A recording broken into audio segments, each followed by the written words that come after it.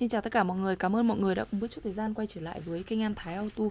Video hôm nay em xin giới thiệu tới mọi người một sản phẩm Đó chính là đèn xi nhan của xe Kia 1 tấn tư đời 2002 à, ờ, Với cái dòng sản phẩm này thì được sản xuất tại Hàn Quốc anh em nhé.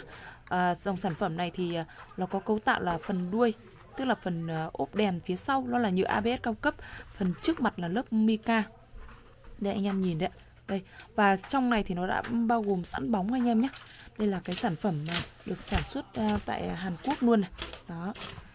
Đây. Mỗi một sản phẩm thì sẽ được ờ, đóng gói trong một chiếc hộp như thế này. À, khi vận chuyển nó tiện hơn và tránh va đập. À, vừa rồi thì em vừa giới thiệu uh, sơ qua anh em cái sản phẩm đó chính là cái đèn xi nhan của uh, xe Kia 1 tấn tư. Cảm ơn mọi người đã cùng bước chút thời gian xem video của em.